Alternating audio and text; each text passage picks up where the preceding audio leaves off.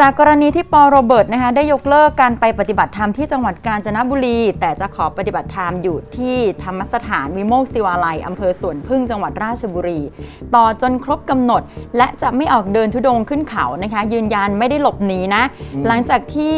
อ้างว่าถูกตำรวจตะเวนชายแดนตามประกบจนรู้สึกว่าไม่ปลอดภัยค่ะ ที่สำคัญนะคะก็คือทั้งคู่เนี่ยต้องเข้ารายงานตัวกับเจ้าหน้าที่ในวันพุธที่ 13 มีนาคม จะครบกำหนดนะคะที่ปอโรเบิร์ตผู้ต้องหาทั้งสองคน จะต้องเข้ามารายงานตัวที่สพเมืองนนทบุรีเวลา 9 นาฬิกา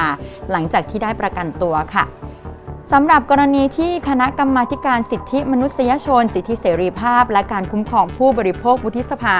ก็มีการหารือกับตำรวจ หน่วยงานที่เกี่ยวข้องมีการเสนอนะคะให้ตำรวจนั้นใช้เครื่องจับเท็จสอบสวนทั้ง 5 คนที่อยู่บนเรือในที่เกิดเหตุค่ะ ต่อมานะคะพันตำรวจเอกจตุรนอนุรักษ์บัณฑิต ผู้กำกับการสพเมืองนนทบุรี กล่าวถึงกรณีการให้ทั้ง 5 คนบนเรือเข้าเครื่องจับเท็จนะคะ บอกว่าเรื่องของการเข้าเครื่องจับเท็จเนี่ย ยังคงเหมือนที่เคยชี้แจงไปแล้ว คือยังไม่จำเป็นที่ต้องใช้ เพราะว่าการที่ทั้ง 5 คนนั้นแยกสอบแล้วพูดไม่ตรงกันเนี่ยสิ่งที่ขัดแย้งกันก็จะเป็นผลที่ตำรวจนั้น จะนำไปเป็นข้อมูลทางคดีต่อไป ซึ่งเครื่องจับเท็จเนี่ยมันเป็นแค่ส่วนหนึ่งของการสร้างความเชื่อมั่นเท่านั้น ไม่ได้เป็นปัจจัยที่จะชี้คำรับสารภาพค่ะ ด้านนางสาวรจนาโตสิตกูลนะคะพร้อมด้วยนายนิติธรล้ำเหลือ ยื่นหนังสือถึงกรมสอบสวนคดีพิเศษ หรือว่า DSI ขอให้รับการสืบสวนสอบสวนคดีการเสียชีวิตของพี่ตังโมนั้นเป็นคดีพิเศษ เพราะว่ามีความสงสัยค่ะ ในเรื่องของการทำงานของเจ้าหน้าที่ตำรวจ มีแนวโน้มในการดำเนินคดีว่าอาจจะประมาทหรือว่าอุบัติเหตุ โดยเห็นว่าอาจเป็นคดีฆาตกรรมอำพรางโดยมีผู้อิทธิพลเนี่ยเกี่ยวข้อง มีขบวนการทำลายพยานหลักฐาน ต่อมานะคะทนายเดชาค่ะทนายความของคุณแม่พี่แตงโมเนี่ยนะคะได้มีการไลฟ์ผ่านทาง Facebook แถลงข่าวการโอนคดีแตงโมไปยัง DSI โดยบางช่วงบางตอนนะคะได้ phone in ถึงคุณแม่ด้วยนะคะเพื่อสอบถามถึงกรณีนี้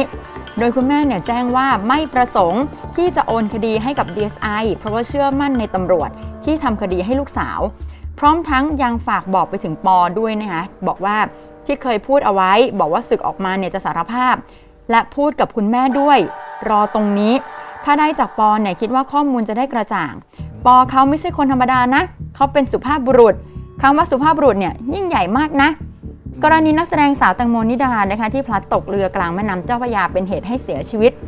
ซึ่งยังคงมีหลายประเด็นที่สังคมคาใจนะคะไม่สามารถหาคำตอบได้ และหนึ่งในนั้นเนี่ยก็คือประเด็นชุดกระโปรงสีขาว ที่พี่แตงโมนั้นสวมใส่ในวันเกิดเหตุค่ะ ที่ทุกวันนี้เนี่ยก็ยังหาไม่เจอนะคะแล้วก็ไม่รู้ว่าอยู่ที่ไหนด้วย ล่าสุดแอนนานะคะประกาศว่าใครเจอผ้าสีขาวของตังโม ที่ใส่ไปในวันเกิดเหตุ แต่ว่ามันหายไป ถ้าใครงมหาเจอแอนนาให้ 30,000 บาทค่ะ